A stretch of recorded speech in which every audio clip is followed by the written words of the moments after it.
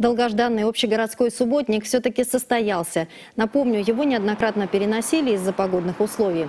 В акции «Чистый город» приняли участие работники администрации Думы Сургута, сотрудники муниципальных учреждений и предприятий, а также представители общественных и национальных объединений.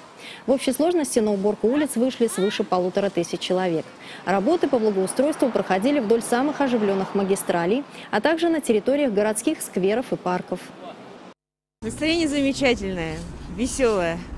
И посмотрите, как здорово. Все вышли на праздник, все улыбаются. У нас сегодня вышли все до одного, кто вообще может, кто находится в городе. Никто не остался дома, потому что ну, все едины, все патриоты Сургута, потому что если мы не сделаем наш дом чище, то кто кроме нас этого сделает, это сделает?